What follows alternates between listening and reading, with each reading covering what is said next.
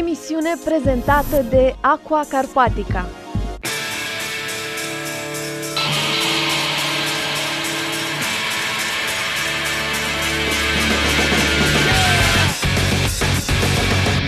Bună seara, bine v-am găsit la o nouă ediție Alternative Hour pe Music Channel. Eu sunt Hefe și în fiecare luni seara de la ora 22, în reluare joi de la ora 23, puteți vedea o emisiune frumoasă, zic eu, și părinții mei care se uită.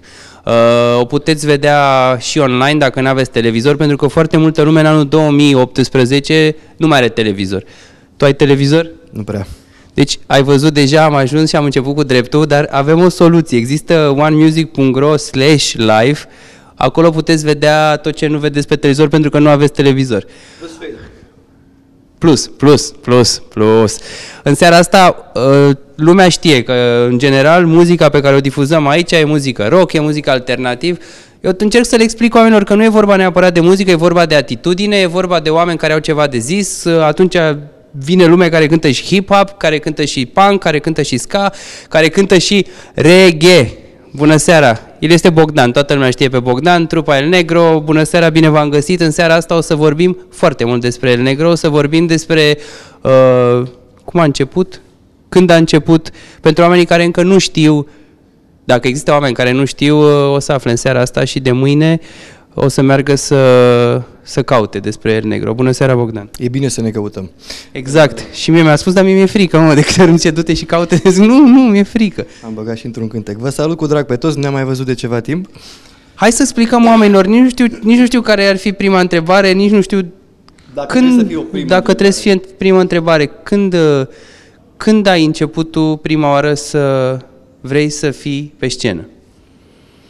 Uh, o fac pe aia scurtă cu copilul care ai pus pe scăunel să cânte de când era mic și după aia au trecut ani, mă rog, toată lumea punea muzică în casă, se mai și cânta la la la și niște ani la un moment dat am ajuns la uzină, făceam practică la uzină cu ciocane, eram lăcătuși construcții metalice la Ploiești și am întâlnit un băiat care era, nu știu, pocăit, adventist, ceva cu religia și cu cântat.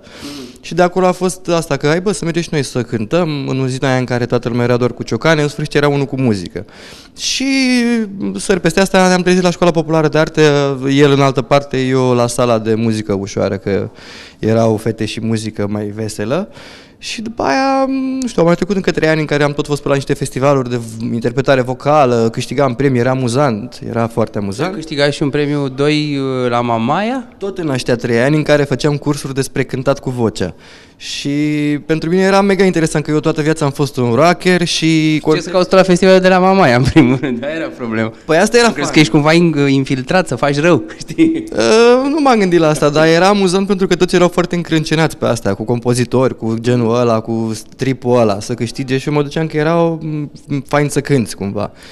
Mă rog, cât înțelegeam eu atunci, în 96. Și am luat și premiu pentru voce. Asta înseamnă că pentru tine a fost uh, un imbold, a fost o chestie foarte bună. Veni de acolo cu premiu dintr-un loc unde lumea știa că Ești nebun, m-am luptat cu Nadine, cu Despot, cu... toate nimeni nu se luptă cu despot în emisiunea asta. Nimeni nu se luptă cu despot. Sărim Așa peste era chestia. atunci, în anii aia, așa, și am luat locul 2 atunci. No, după aia a trebuit să-mi fac un proiect, că am zis că nu.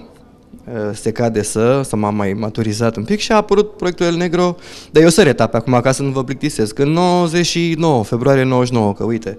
Și 99 ați făcut o piesă care a fost pe MCM în Franța? Exact, aia a fost prima piesă, videoclip la m, Spunem cine ești, de la Semnalem, refăcut de Cătălin Târcolea, tot felul de încercări din asta să o aducem cu un sound mai spre Fugees, mai spre nu știam noi foarte clar. Fugi la la. La la la la.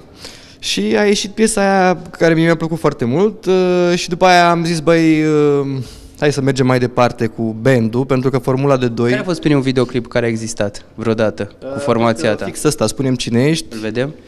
Uh, nu știu dacă mai există pe Nu mai planetă. există, nu? Nu, sunt câteva videoclipuri care efectiv nu mai există pe Nu ți-e planetă. dor de ele să le vezi? Bă, o să pun un din ăla pe Facebook, atenție, mai aveți ceva videoclipuri, de, trimiteți la căsuța poștală, că nu mai știu unde sunt.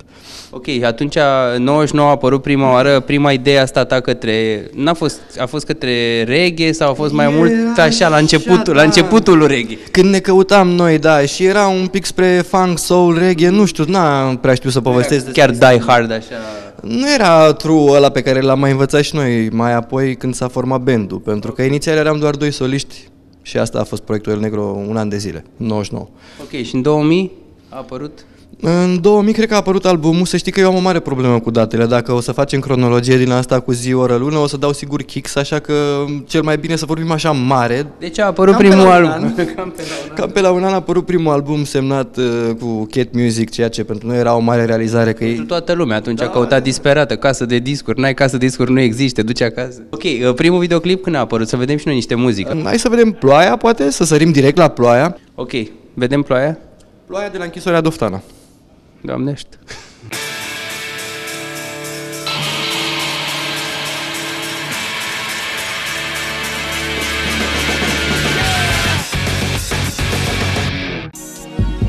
Emisiune prezentată de Aqua Carpatica.